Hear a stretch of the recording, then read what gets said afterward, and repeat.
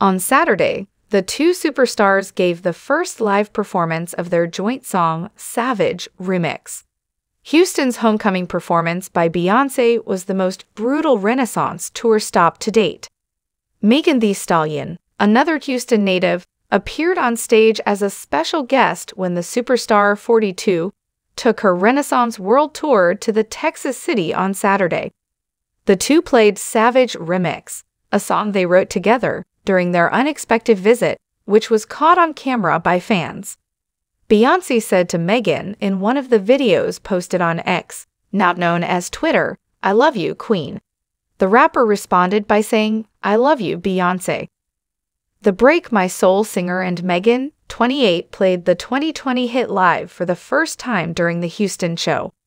Rapper WAP once went to the Renaissance tour as a fan. At the Paris concert in late May, she was seen in the crowd next to Beyonce's husband, Jay Z. The body rapper dropped out of the Global Citizen Festival schedule in New York City on Thursday, according to page 6 of the New York Post, after Queen Bey offered her to perform the same day at her Houston concert. The hip hop singer had to cancel last week, the music festival said in a statement on X, formerly known as Twitter, due to an unforeseen scheduling conflict. In March 2020, Megan Thee Stallion, actual name Megan Pete, debuted Savage on her Suga EP. Late in April of that year, Beyonce joined a remix of the song after it became popular on TikTok. The two worked together to make the song even more successful, helping it to top the Hot 100 and win the Best Rap Song and Best Rap Performance Awards at the 2021 Grammys.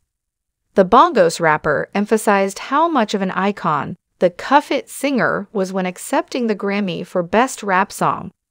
She remarked, I definitely want to thank Beyonce.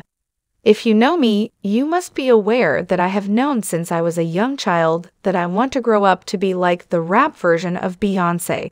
That was the aim. I admire her work ethic, who she is, and how she conducted herself. Thank you, Beyonce, for your constant words of encouragement, she continued. Beyonce added, I'm proud of you, to her song of love for the rapper.